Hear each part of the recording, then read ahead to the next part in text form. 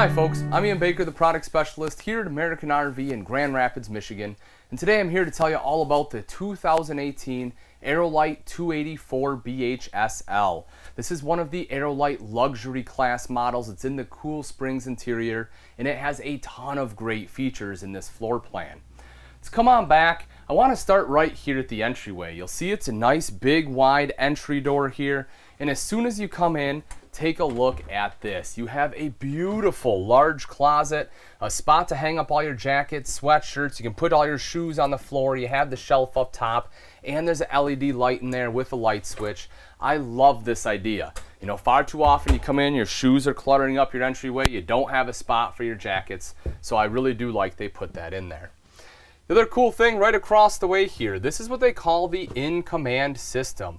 Everything is right here in this little tablet. This lets you do a ton. You can take a look at your tank levels on here. You control your water pump, your heater. You can turn your lights off. You know, do that individually. Your awning, look at this. Your jacks. This lets you do almost everything right from this control. It's really easy to operate. Uh, I do like the fact that, again, you don't have this big, huge panel here. And if the kids don't know the passcode, they can't start messing with stuff. So that is definitely a cool system. Right over here is your power bed control. Uh, all or both the bunks here are on a power lift system, a Happijac system.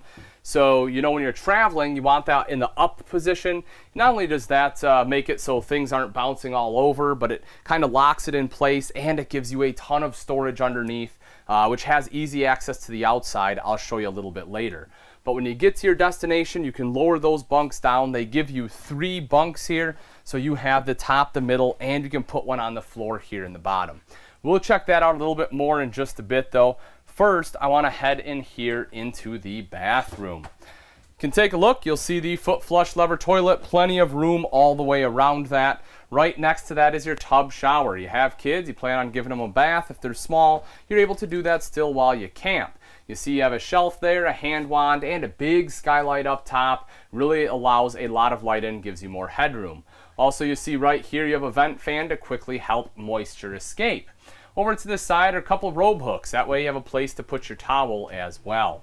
Directly across the way, here's your mirrored medicine cabinet. You do have storage behind that. And then right down below, you have your sink top there and some storage underneath that too. Uh, thermostats right, out, right outside here. This controls both your AC as well as your furnace. Uh, but back to the bunks here. This does have a ladder to climb up onto the top bunk. You know, oftentimes it's really tough to be able to get up there.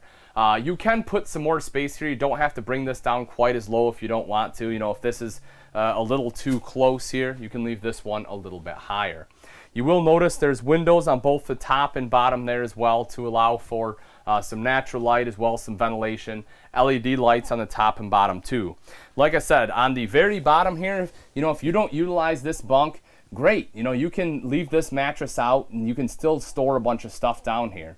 But if you have a third person who wants to sleep down here, maybe you know you go camping with your dog a lot and you love your dog and you want them to have a nice pad, you can have them sleep down here as well. Right over to the side, open this up for you. Take a look at that. Great extra storage, perfect for the uh, some of the folded kids' clothes. Or if you want to use this as a linen closet, put your towels in there, you can do that too.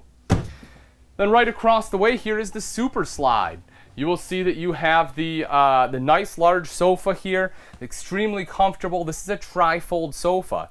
Uh, if you're not familiar with the tri-fold, it's the preferable type of sleeper sofa in an RV, and you can see why. Come on over here, you can see how nice and thick this is. This is what your guests will actually get to sleep on. Uh, this folds down, the rest of the couch comes out, and it's a nice big bed that two adults can sleep on. It's not gonna have an air mattress that deflates on them. It's not gonna be a skinny little mattress, you know, with a bar in it that hurts their back either. So uh, wonderful tri-fold right there. Windows all the way around too to let in a lot of natural light. Light color pattern in here too. I like what they've done. They have dark woods, but the Cool Springs interior is nice and light. Uh, you know, they really do work very well with each other. Also, there's an electrical outlet right down on the floor here, so if you're sitting on the couch, you need to plug in, you know, laptop, tablet, something like that, you have the ability to do so. Along the top of the slide here, you'll see some uh, additional storage with the frosted glass on there, nice brush nickel pulls. Let's take a quick look at the ceiling. There are some really cool features up here. One is the ducted AC I had mentioned is right there. Another thing I like is instead of having just your standard tape strips going across, they have these nice pieces of wood. It really gives it, uh, you know, a nice aesthetic in here. Also, you can see those pieces of wood are curved because this is a cathedral style ceiling. It's nice and open.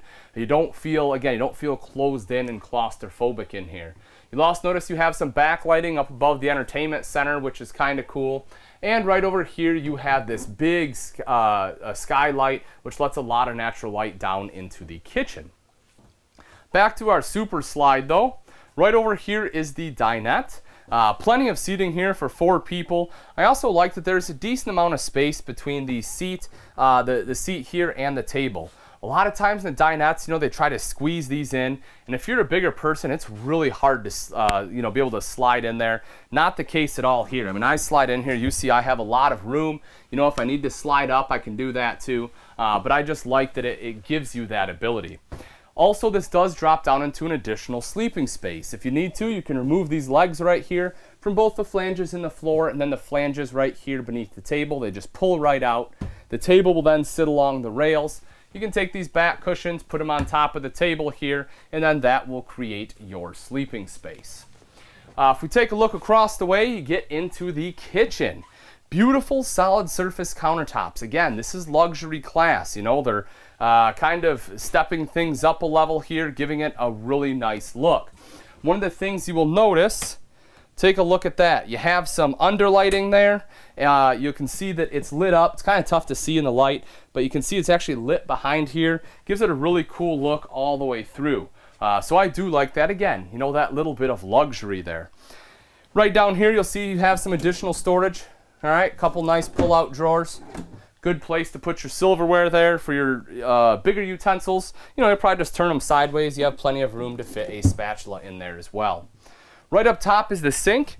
You will see that they give you a nice flush mounted sink top cover. This is cutting board quality. Uh, you know, I've had some people that ask me, well, you know, why don't they give me matching solid surface sink top covers? Well, yeah, they look great and you know, you may, you'll probably use them once in a while for prep, but as far as functionality, this is more functional. It still allows you to use it as prep space and you can flip it over and use the bottom as a cutting board. Right here you have the uh, double bowl undermount stainless steel sink. It's a double equal bowl there. High-rise pull-out faucet here makes washing and rinsing dishes nice and easy. Over to the side, you'll see you have a dual USB port as well as an electrical outlet there. Uh, so if you need to plug stuff in, you can either put it here in the corner or there's also another electrical outlet tucked away right underneath here. So you do have a couple different places in which you can plug in coffee makers, blenders, things like that. Window here to let in that natural light during the day. LED lights throughout the kitchen for nighttime. Across the top, you have some good storage right up here above the sink. And then over to the side, more storage there. So places for, you know, cups, maybe some extra pantry storage, whatever you want to use it for there. Um, you have your stainless steel microwave here. Right underneath that, your hood with the light and fan. You can see the light up backsplash. This is really cool. That's what one of these two switches here, uh, this guy there, that's what that's controlled by. Same thing with the, the lighting in the countertop here. If you don't want this stuff, you don't have to turn it on. But again, I think it just gives it that nice classy look. Right here in front of that is your three burner Atwood cooktop. The front one is high output.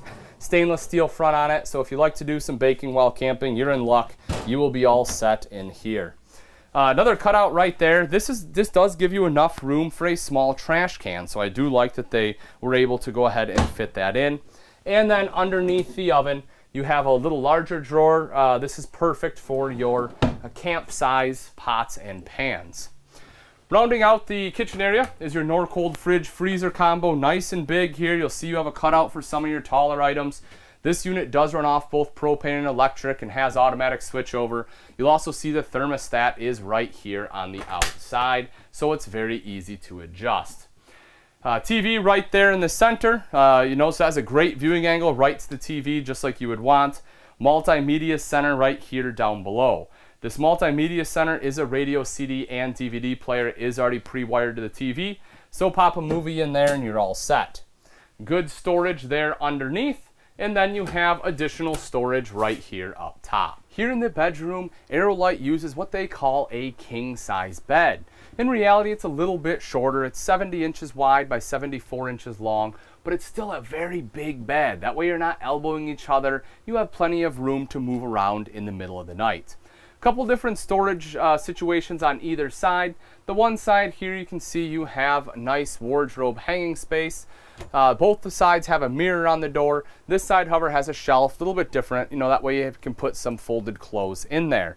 So instead of having the wardrobe underneath, uh, you will see you have a nice nightstand there. You will also notice you have dual USB port as well as an electrical outlet. So if you need to plug in cell phones or a CPAP machine, you have a space in which you can do it. Also, you have a nice little shelf right up there in the headboard. You see uh, dual LED lights right here underneath, nice reading lights. Storage all the way across the top with the nice tinted glass on there. Underneath the bed, you have additional storage. You can see that. Never mind the giant TV box. Uh, but again, that is just uh, good extra storage and it's easy to get to. If you take a look at the ceiling real quick, a couple things on the ceiling. You'll see you have speakers, more LED lights, a vent here. So if you don't want to run the ducted AC, uh, you can open up the window, open the vent up, get that cross ventilation through here. You also see the Winegard Rayzar upgraded TV antenna right there. So it's low profile. You don't have to raise it up and down. You just have to spin it to find the signal. TV hookups right here as well as a mounting bracket that is located right there in the wall. Last thing I want to talk about, there is a secondary entrance here into the bedroom. That's really nice if you have additional guests. You have that nice trifold out there. If guests want to sleep on it, maybe you're an early riser and you want to, you know, exit the coach before them. You don't want to wake them up or vice versa. Maybe someone's going to bed later than the other person. Having the second entrance right here in the bedroom is quite convenient. Now that we've seen the inside, let's take a quick look at some of the amazing outside features on the Aerolite 284 BHSL. We'll start right up front here with the Lippert Power Tongue Jack. This makes it nice and easy to uh, raise and lower the tongue by simply flipping the switch here. You'll also notice right on front there is a light in case you are hooking up or disconnecting at night that will give you some added visibility. Right behind that are your two propane tanks. You see it does have a cover. It's very nice and easy to get down into those tanks. Just undo those thumb screws, lift up the hatch, and you can get right down in there. As you will notice, you have two 30 pound tanks in here instead of the standard 20 that most RVs come equipped with. Behind that, you see the rails for your battery. It is wide enough, you can easily fit two batteries on there. And right off to the side, you'll notice there's also a battery disconnect. That's generally the sign of a higher end RV. They don't put them on too many travel trailers, but that is super convenient. Rather than constantly having to get down there and disconnect your battery when you're done, you can just flip that battery disconnect. That way there won't be that constant drain on the battery. The front end of the Aerolite has a beautiful front cap on here. It's luxury class and boy does it look like it. The front cap not only adds some insulation and beautiful aesthetics, but also because it wraps around helps with uh, helps prevent water penetration. Right up front here, your standard diamond plating, they've put on this nice rock guard. Again, it blends in a lot better and it still really helps protect the front end from rocks and debris that get thrown up by your tow vehicle. You'll also see they have big V LED light strips in there. Gives it a nice aggressive look at night. When you come around to the side, we'll take a look at the pass-through. You'll notice right here it does have a covered hinge, so you don't have to worry about a bunch of rust coming down your door. Magnetic as well, so you can just stick it up there and forget about it. Then if you take a look inside, you can see how nice and clean it is. Now this one does have a couple other things that uh, the non-luxury class won't have. When we get to the off-door side, we'll take a look at the auto level system, which is awesome. Also right here is part of your in-command system. This is where all your fuses and everything are for it in case you have to access it. Notice they did put a light directly above it. So that way, if you do have to get in there at night, you can see what you're doing. Now I mentioned the auto level, take a look at this beauty. Uh, this is something that's come out, you know, basically this year. It's very recent. You've seen auto level on a lot of fifth wheels, but up until now, you haven't really seen it on travel trailers. And it is a true auto level system. You touch a button, the travel trailer will level itself out. This is a huge time savings. You know, if you're, the whole point of camping is getting out and starting to relax, last thing in the world you want to do is have to rock it back and forth and play with leveling the whole time. If you're sick of it, you don't want to get down on your hands and knees, this is certainly the way to go. Moving back a little bit further here, uh, we'll talk about the entryways. You do have two entryways into this RV. This one is the one I showed you into the bedroom. Three aluminum steps here. Uh, aluminum steps are nice because they won't rust out on you. They also have the rubber grip strip so you won't slip and fall. And then your standard grab handle right here as well. The main entrance in the back also has your three aluminum steps, but a larger foldable easy grab handle. We can take a look at that when we make our way back there. Right up above both doors here, you will see you have a power awning. Uh, that does, again, cover both doors, which is great. So if it's raining, you know, you can enter and exit the coach without getting soaked. Also, you have an LED light strip that runs underneath, so you don't have to get up there and hang up your Christmas lights. You can just flip a switch to have light on your campsite. Take a quick look underneath. You will see right there you have a propane quick connect. If you're one that likes to grill outside, that's awesome. Hook it up right there. That way your grill will feed off your two 30 pound bottles instead of having to buy the separate small green ones. If you also take a look underneath the awning right here in the center, you see two outside speakers. Now those are controlled by your multimedia center inside, however they are Bluetooth capable. So uh, if you want to sit out here and control your music, you can use a smartphone or tablet and be able to do that rather than constantly have to go inside to mess with the multimedia center. If you like to watch TV outside, you'll be covered there as well. You see you have a cable outlet right here, and then directly underneath you have an electrical outlet. Now bear in mind, even if you don't want to watch TV, you can still use the electrical outlet for anything else that you want to plug in here. Take a quick look at the wheels aluminum alloy wheels on the Aerolite. Not only are those really sharp looking, but also they won't rust on you. They help prevent corrosion and you have easy lube axles, which are easier on the maintenance side. The tires are also nitrogen filled, so that way they should hold that pressure for a longer period of time. Right here is the main entrance. Uh, as I said, the same three aluminum steps you saw in the front entrance, but you get the foldable easy grab handle here as you'll be using this one a lot more, and it does make it easier to enter or exit the RV. Right back here is your black tank flush. This is nice too. Instead of having to go inside and stick a hose down your black or you know down your toilet to wash out your black tank, you can hook the hose right up here. That black tank has sprayers built in and it will wash it out for you. This Aerolite does have the all seasons package on here as well. So if you're camping in the colder seasons, you don't have to worry about anything freezing up on you. You can see the fully enclosed and heated underbelly right underneath there. So you come around to the back, couple great features back here. One is your spare tire. It has a cover on there. You know, I know it seems minor and hopefully you never have to use it, but in the event that you do, it's a great peace of mind knowing it's riding right back here for you. And because it has the cover on there, you know it should be in good usable condition as well.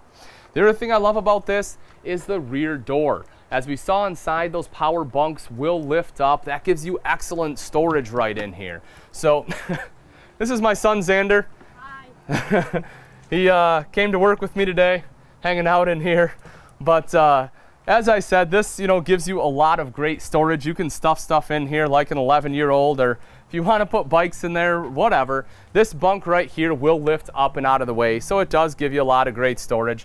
As you can see, my son certainly approves.